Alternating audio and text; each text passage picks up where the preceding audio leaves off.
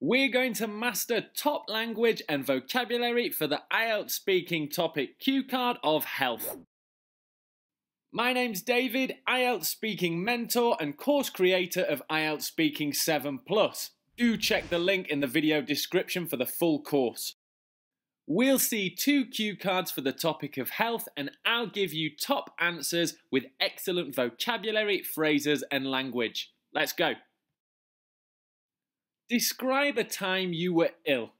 You should say what it was, when it happened, how you made yourself feel better. Also, describe how you feel about it. I suppose I'm quite a lucky person as I don't often get very sick or ill. I often go for a health check with my local doctor at the hospital. He always says I'm as fit as a fiddle if I think back to my teens, I did get really sick once. I caught something called glandular fever. I've never been so ill in my entire life. I wasn't sure I was going to make it. I had a huge fever and couldn't eat a thing. The only bonus of that was that I managed to lose some weight. Maybe I should try being sick again. Along with the fever, I had a lot of muscle aches and strains. It left me quite immobile for around two weeks. It happened just before my high school exams, which was really inconvenient. I still managed to pass my exams though. I don't think there was any medicine or antibiotics. I'm pretty sure I had to wait until it ran its course. It's not exactly a fond memory, and something I don't usually think about. I wouldn't wish glandular fever on anybody.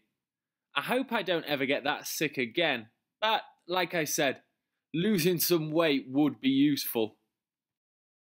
That was a brilliant answer with some awesome language. Let's focus on some key vocabulary and phrases from that answer. First up is health check. This is a common collocation that native English speakers use. Remember, a collocation are two words that are often paired together. Sometimes people go to the hospital just for a health check. They may do this once or twice a year. And next up is immobile. This is quite an advanced piece of vocabulary and it can be used to talk about health and fitness. If you were so sick you couldn't move, you can use this word. The last phrase that I want to share with you is run its course. We use this phrase to describe something that is naturally allowed to end without any interference. Now it's time to move on to our next IELTS speaking cue card. Let's see it now. Describe an activity you do to stay healthy. You should say, what the activity is, how often you do it, where you do this activity. Also describe how it makes you feel. Actually, I describe myself as a reasonably active person. I'm definitely not a couch potato. I used to play a lot of sports when I was a child, but these days I have to try and find extra time to do them. Work and family have to come first. My favourite exercise I do to stay fit is probably yoga. At first, I wasn't sure I would like it. I didn't think it would be very challenging as it seemed to just be stretching.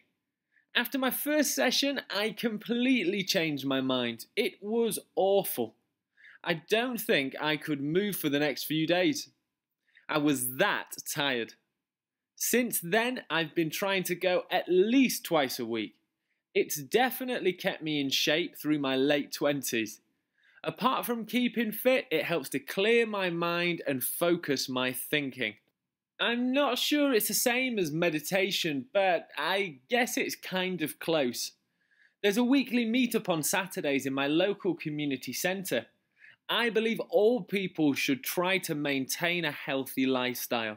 It's important we look after ourselves both physically and mentally. I've definitely grown to love yoga. It's one of my favourite things to do. Let's now focus on key phrases in our speaking spotlight. And first up, couch potato. Now, this phrase is an idiomatic expression to describe someone who is lazy. If you know someone who doesn't like exercise and maybe watches a lot of TV, you can call them a couch potato. Keeping fit is a very native expression which can be used to talk about exercise and looking after your body. If you like to exercise, you could also say you like to keep in shape. The next expression that I'd like to teach you is grown to love. You can use this when you're talking about something that you really enjoy, but at first you weren't sure if you would like it. It shows that your feelings have changed from negative to positive.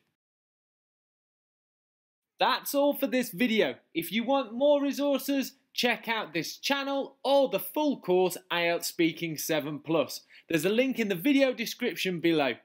Like, share and subscribe to this channel and I will see you soon.